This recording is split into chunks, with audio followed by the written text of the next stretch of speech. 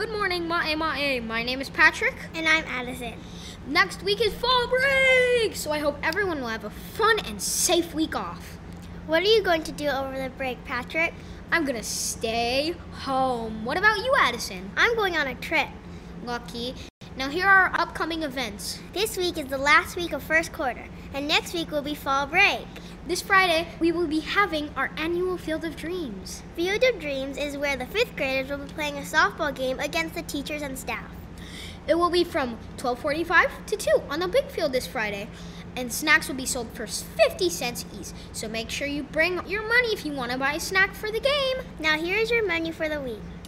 On Monday breakfast, we have French toast sticks, pineapple chunks, and apple crisps. For lunch, we have cheese pizza, celery sticks, fresh fruit, and edamame. On Tuesday for breakfast, we have Portuguese sausage, rice, fresh fruit, and peaches. For lunch, we have chicken patty sandwich, mashed potato shaped emojis, fresh fruit, and chicken noodle soup.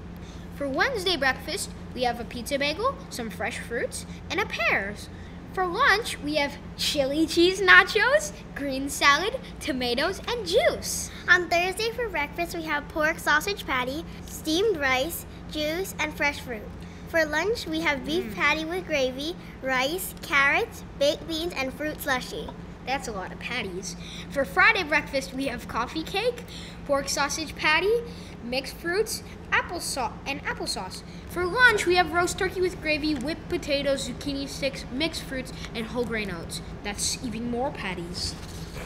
You can sleep all you want for the Field of Dreams. Ha ha ha ha ha.